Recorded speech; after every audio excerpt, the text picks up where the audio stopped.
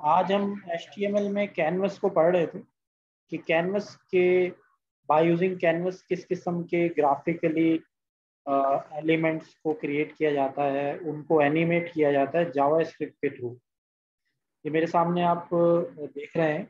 ये सिंपल एक कैनवस इधर बनाया गया है। कैनवस का टैग और ये सीएसएस में ये सीएसएस लिखी गई है। और इसका जो है वो जावा स्क्रिप्ट का कोड ये लिखा हुआ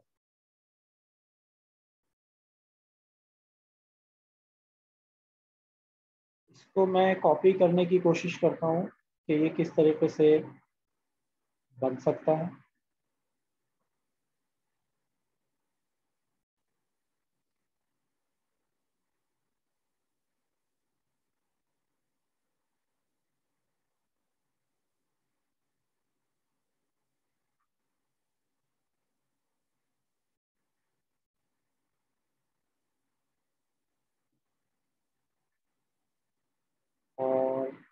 जैसे कि मैं ये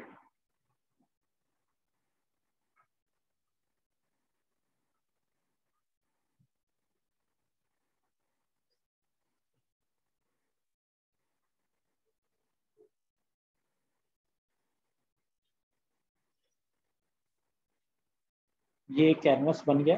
अगर मैं इसका सोर्स कोड देखूँ तो इसके अंदर हमें दिखा रहा है कि हमने एक स्टाइल यूज़ किया है।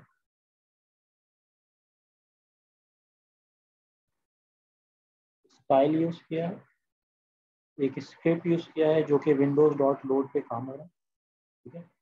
इनिशियलाइज हो रहा है और इस तरीके से ये काम चल रहा है। अगर मैं एक काम करूँ कि ये जो गेम हमने बनाया यहाँ पे, इसको कॉपी करता हूँ।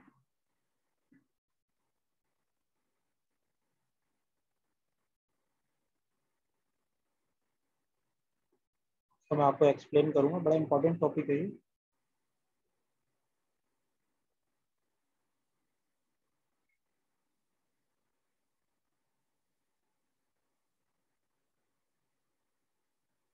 इसका स्टाइल हो गया। और ये इसका स्क्रिप्ट हो गया। हम स्क्रिप्ट में जाएँगे।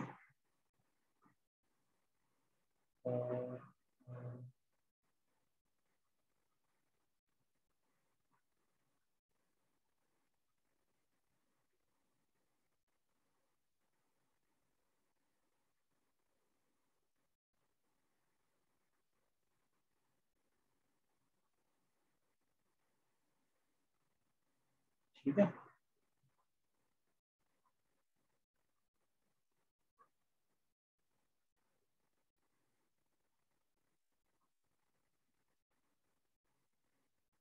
ये एनिमेशन दिख रही है? एनिमेशन दिख रही है स्क्रीन पे? जी जी। ये हमने कैनवस के थ्रू की है अब कैनवस के थ्रू हमने किया क्या है? सबसे पहले मैंने आपको बताया था कि हम कैनवस सिर्फ़ एक टैग यूज़ करके भी बना सकते हैं। जैसे कि ये मैंने किया यहाँ पे। कैनवस का सिंपल सा टैग है वो हमने यूज़ किया और इसको आईडी दी है आईडी इसका नाम क्या दिया? है सी और इसके बाद हमने एक टैग बनाया है स्टाइल का। ये स्टाइल का टैग है। इसमें हमने कुछ सी एस एस दिए जैसे कि बॉडी पे दिए है कैनवस पे दिए। है कंट्रोल पैनल पे दिए हैं पी पे दिए हैं लेबल है बटन है, ये सारी दिए इसके बाद हमने एक बड़ा इंपॉर्टेंट काम किया है, क्योंकि अब हमारे पास जावा स्क्रिप्ट का कोड भी लिखना है एनिमेशन के लिए यूज़ करते हैं बाय यूजिंग कैनवस स्क्रिप्ट का टैग हमने यूज़ किया है, और इसके अंदर हमारे पास विंडोज़ डॉट फ़ोन लोड पे हमने इनिट कॉल किया है। यानी कि जब भी हम विंडोज़ की, यानी कि पेज को लोड करें तो सबसे पहले ये इनिट का जो फ़ंक्शन है, वो कॉल हो जाए इनिट का फ़ंक्शन क्या कर रहा है? इनिट का फ़ंक्शन क्या कर रहा है?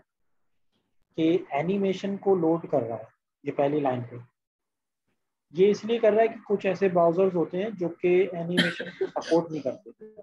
तो ये लाइन लिखने से वो सपोर्ट करना शुरू कर देता उसके बाद ये सबसे पहले क्या कर रहा है? Document dot get element by ID C नाम से हमने क्या रखा था? कैनवस उसको गेट कर रहा है। ठीक है? फिर C dot get context two D two D का कॉन्टेक्ट लेके, ठीक है? विंडो की पिक्सल्स ले रहा है। विंडोज़ का इनर विथ ले रहा है इनर हाइट ले रहा है। और उसके बाद जो हमने सी टी एक्स लिया था टू डी का, उसको स्केल कर रहा है। विंडो की विथ और हाइट पे। इसी तरीके से मैथमेटिकल फ़ंक्शन यूज़ कर रहा है ये। मैथ डॉट रैंडम मल्टीप्लाई है ये जो हमने दो इसमें पैरामीटर्स लिए, उनको प्लस करता जा रहा है। तो क्या हो रहा है कि वो एक राउंड क्रिएट कर रहा है।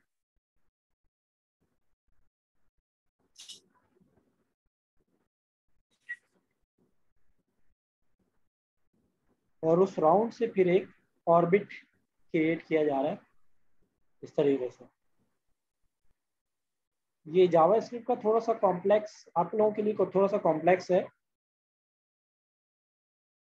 अभी हम लोग टॉपिक पढ़ रहे हैं कैनवस का, जिसमें हमने जावा स्क्रिप्ट के थ्रू एक कैनवस से ऑर्बिट क्रिएट किया। तो ये आज की क्लास थी और ये एच में आपको शेयर कर देता हूँ।